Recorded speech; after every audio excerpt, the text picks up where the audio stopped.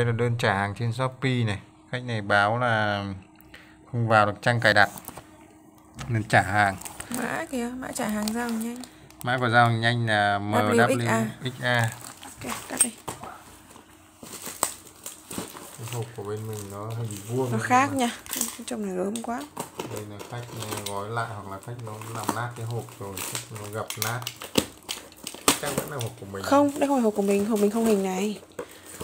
Hộp mình nó phải thế này chứ. Em tưởng người ta rũi đây. Đây, rũi ra cũng không hình bỏ đấy ra nó thiếu đồ, nhìn nó thiếu đồ này. Mở ra chắc. Rồi. Đây là sản phẩm của một bộ phận wifi và một sạc. Ok. Ok. Một tờ hướng dẫn. Giờ bên mình cắm vào để test nhé.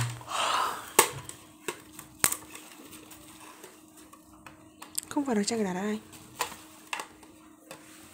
Cho nên là mình bận của mình không kê khả năng khách có thể ấn trả hàng.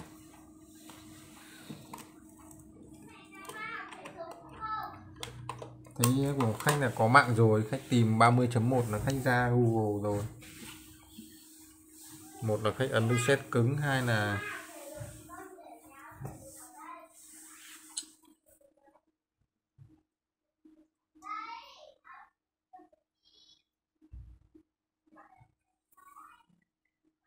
cái này là khách reset cứng rồi. không còn pass nữa. nó không còn path nữa nên là khách vào địa chỉ nó bị sai. Trước khi gửi đi thì bên mình có để cái địa chỉ IP là 30.1 để cho nó đỡ trùng với con gốc là 1.1 khi mới mua thì các cái địa chỉ IP nó giống nhau. Khi lắp thêm mình phải đổi IP đi. Nhưng mà khách này về khách đã đấn reset cứng này thì nó sẽ không còn cái mật khẩu nữa. Không còn cài đặt của mình trước đấy nữa.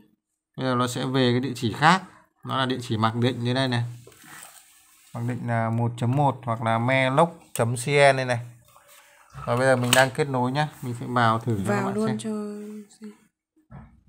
mình sẽ có hai cách cho mình gõ 192.1 Rồi, enter đi. 68. tôi đi kìa.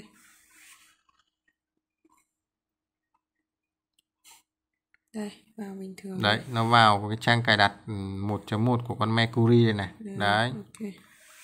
Chứ không phải là lỗi gì đâu nhá thôi cái này thì chắc là tắt thế ăn được vào mạng cho nó chắc không đến lúc nó lại bảo mình Hạnh huệ.